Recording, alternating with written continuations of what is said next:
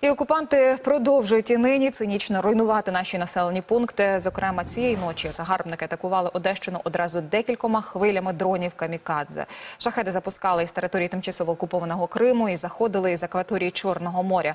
13 безпілотників вдалося збити, але кілька таки влучили у два агропідприємства в Одеському районі. Внаслідок вибухів спалахнули пожежі. Люди, на щастя, не постраждали.